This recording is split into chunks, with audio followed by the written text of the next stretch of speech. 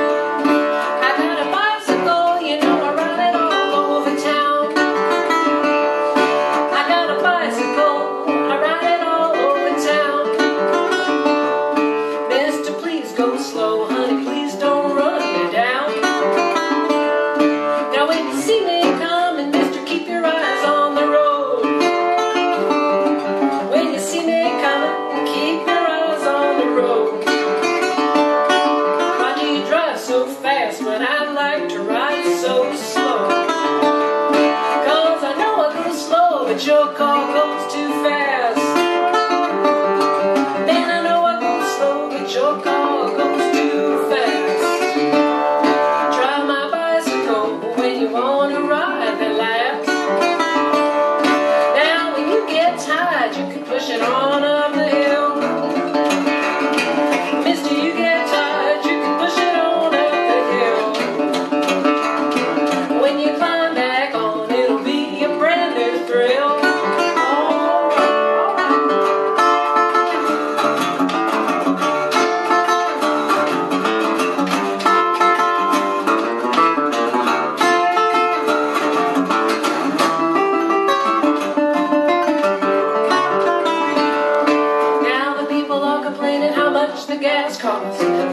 bicycle don't even make no exhaust.